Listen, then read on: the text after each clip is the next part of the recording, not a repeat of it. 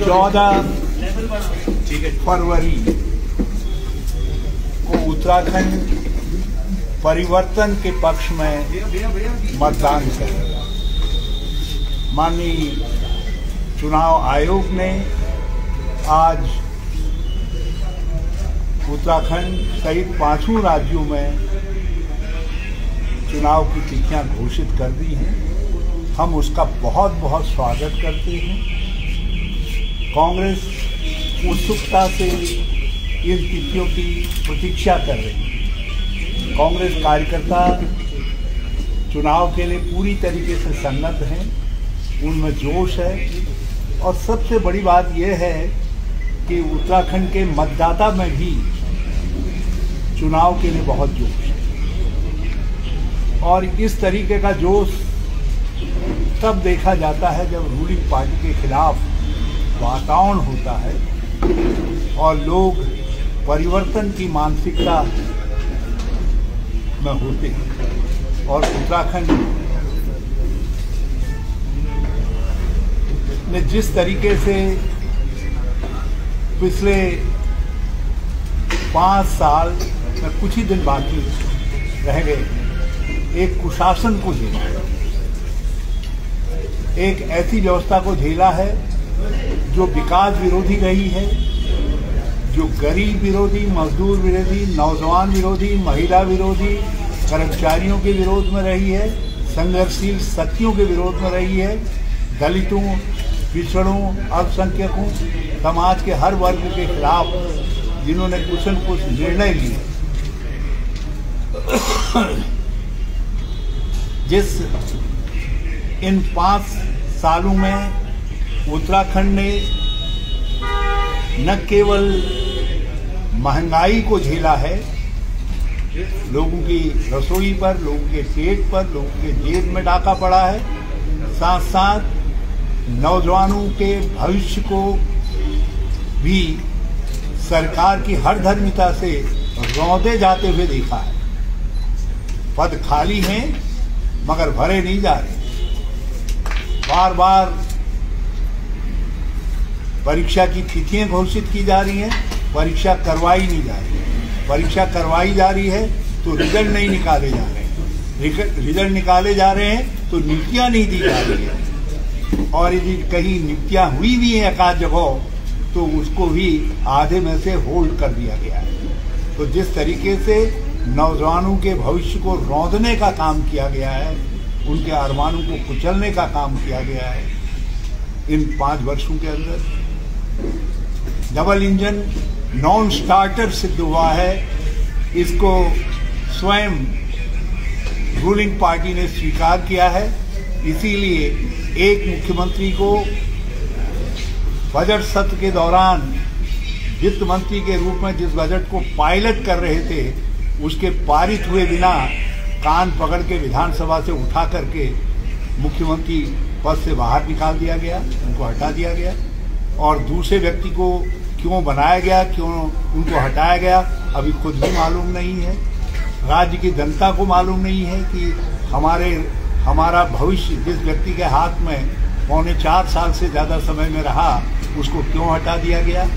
कहीं जनता को नहीं बताया गया।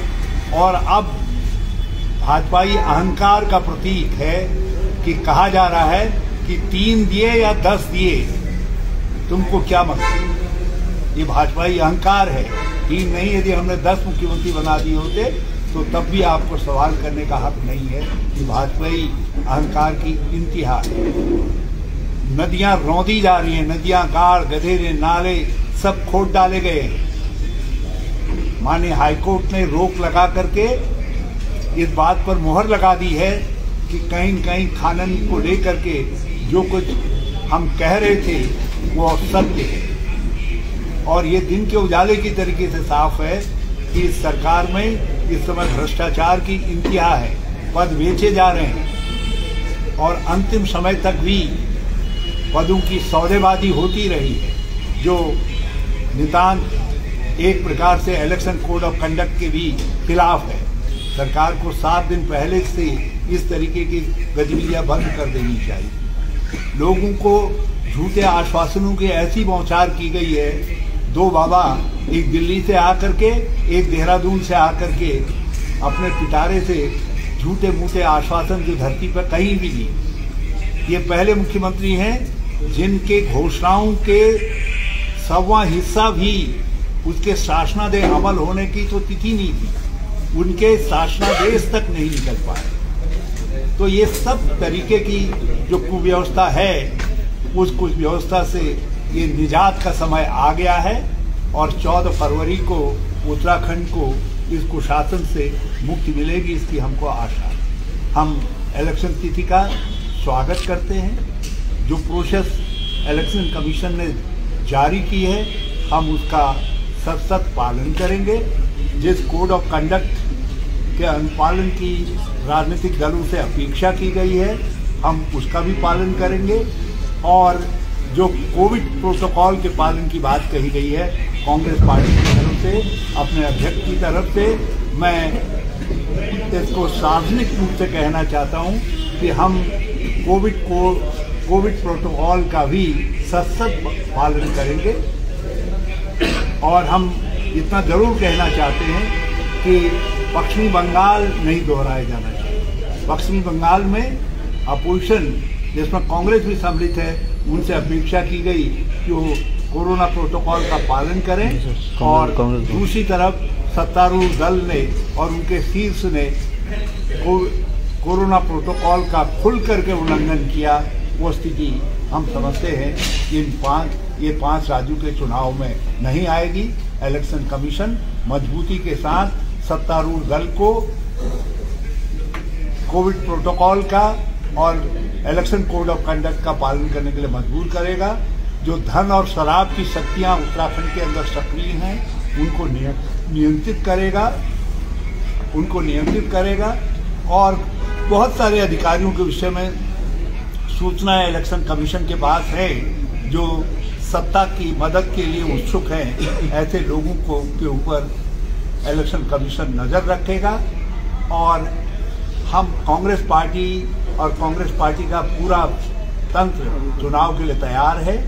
हमने 45 सीटों पर आम राय बना ली है। शेष सीटों पर भी हम जल्दी राय बना लेंगे। हम कुछ राजनीतिक कारणों से हमने दूसरी पार्टियों के मूवमेंट को देख रहे थे कि वो किस तरीके से आ, क, क्या कदम इलेक्शन को लेकर के उठा रहे हैं तो हमारी ए, करीब करीब सत्तर सीटों पर हम चर्चा करके अपना मानस बना चुके हैं और हम जल्दी अपने उम्मीदवार घोषित करेंगे।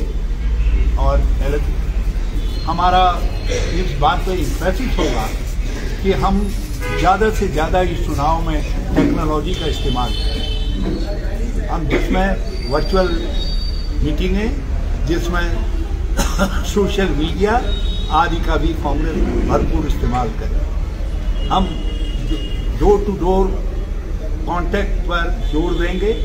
हमारे कार्यकर्ताओं को से मैं अनुरोध कर रहा हूँ कि वो वन टू वन कांटेक्ट पर ज़्यादा ज़ोर दें ताकि कोरोना से भी बचा जा सके और साथ साथ जो है मतदाता तक हम अपना परिणाम पहुँचा सकें, अपनी बात पहुँचा सकें। यहाँ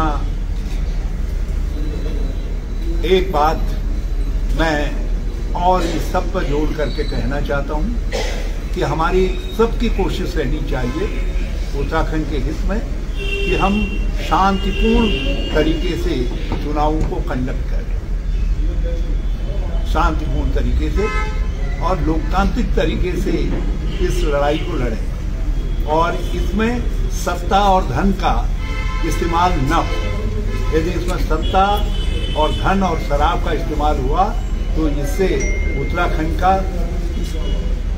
वातावरण दूषित होगा और वो ऐसा राजनीतिक दल जो भी है जो इस तरीके के इस्तेमाल करके वातावरण को प्रदूषित करने का काम करेगा, हम जनता से कहेंगे कि उन पर नज़र रखिए और उनको दंडित तो मैं फिर से चौदह तारीख की डेट का स्वागत करता हूँ और hurrah election commission, hurrah Uttarakhand और बका कांग्रेस जन कहना चाहता हूँ, हम चुनाव के लिए पूरी तरीके से सन्नद्ध हैं और हमें पूरा भरोसा है कि मीडिया के दोस्त इस बार परिवर्तन की आवाज़ को ताकत देंगे सर थैंक यू